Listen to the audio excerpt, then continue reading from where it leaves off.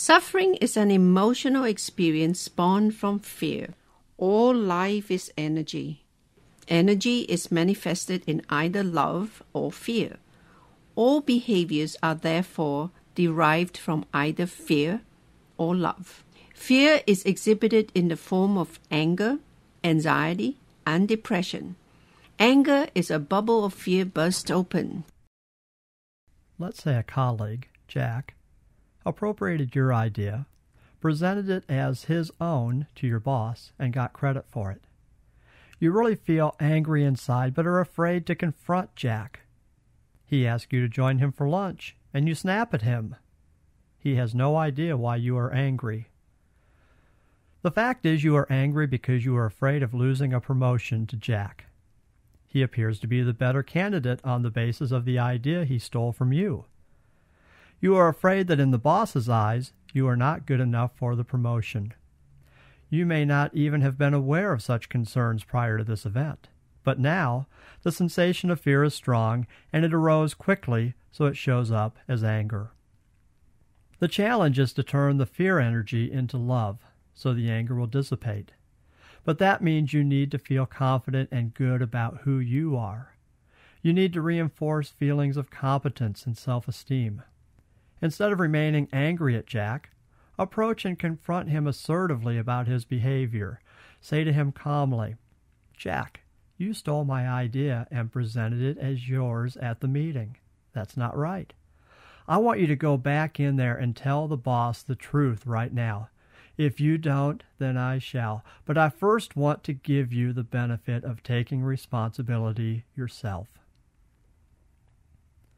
Having love for yourself, instead of being afraid that you are not good enough, empowers you to tell Jack what he did was wrong without degrading him. Tell Jack what you want from him. Also, tell him that if he is not able to take responsibility and rectify the problem, then you will. Loving yourself is very powerful. No energy needs to be wasted in anger arising from fear. Try applying this strategy in a situation you may be experiencing yourself, and you will see how anger need no longer be your behavior of choice. You can choose love instead of fear. Many people are raised to believe that sadness and anger are bad emotions that should be suppressed. While you feel free to express joy, you feel uncomfortable crying, or worse, when others cry in front of you. But suppression of sadness or anger is no good. They are natural feelings, just like joy. According to Gil Boyne, anger is either exploded, you know what that means, or imploded, that is, internalized. Fear that rises quickly and is based on a sense of guilt or unworthiness is expressed as anger. When that anger is expressed in violent ways, such as an explosion, it can hurt you, other people, or both, leading to further pain and suffering. If you cannot adequately voice or act out anger, the logical alternative is for you to swallow it. And we've seen earlier that negative energy directed inward can lead to illness or disease, such as in implosion. A feeling is a feeling. It is meant to be experienced and expressed. But what's the appropriate way to express anger? If you don't know, you are not alone. Most people lack the skills to express our feelings in ways that support their sense of self worth. Shortly after the Columbine tragedy, I taught a class on anger expression. As homework, I asked a class of junior level health majors at the university to write down 101 expressions of anger. I suggested they imagine a situation in which they were really angry. The 101 statements or acts were to express how they felt. When they showed up for the next class, I instructed them first to take a red pen and circle all the statements that indicated inflicting violence on another person.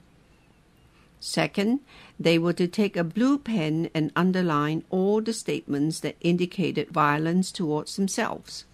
Third, they used a green pen to circle any statements that contained no violent acts towards themselves or others. The outcome was shocking, though I should perhaps not have been too surprised. There were many red circles and blue lines and very few green circles. For one woman, 97 of her 101 statements directed violence toward another person, while the remaining four indicated hurting herself. It is a tragedy indeed. Whether you currently explode or implode the energy of anger, you can learn ways to express that energy in healthy ways so as not to hurt yourself or others. Anger is fear. Examine any instance in which you have felt angry. If you are honest enough and dig deep enough, you will discover that the anger arose from a fear of rejection, abandonment, or some form of criticism. It all eventually comes to rest on the fear of not being good enough or not being lovable. And if left untreated or unexamined, is the beginning of a vicious downward spiral of fear, taking you through feelings of self loathing on into behaviors that are self betraying. That's why it's so important to transmute fear into love. If fear is not transmuted, its energy proceeds on an insidious, detrimental path, causing you and others you relate with pain and suffering.